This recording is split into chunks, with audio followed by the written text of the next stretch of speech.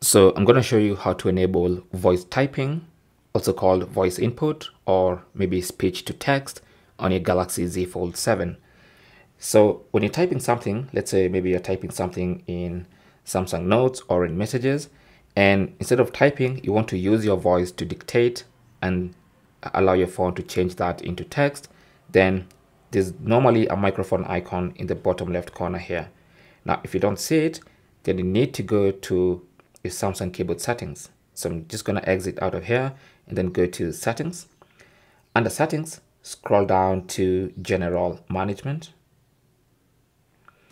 Under general management, you should see Samsung keyboard settings.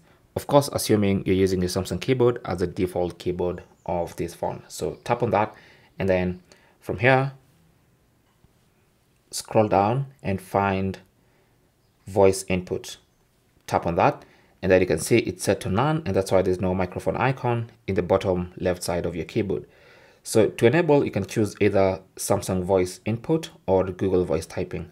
Now, I would recommend Google voice typing because of course Google voice typing has more data because it's using the Google knowledge base, which is much better. Now, keep in mind that on the Galaxy Z Fold 7, you can also use the side button for voice input. So it says when the keyboard is open, pressing the side button will switch to voice input. So we can enable that and just see how that works. So now when you're typing something, instead of continuing to type, you can just tap on the microphone icon, which will now be on the bottom left corner. This is the story of my life. And as you can see, that types that for me, okay? So let's try the side button.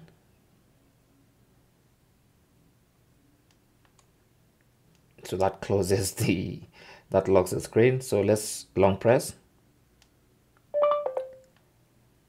It all started back in 1995.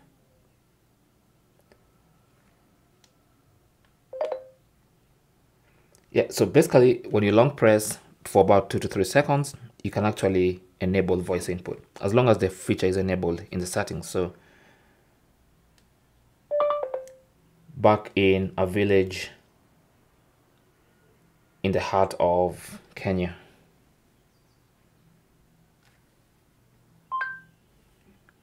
So that is basically how to use voice typing or speech to text on your Galaxy Z Fold 7.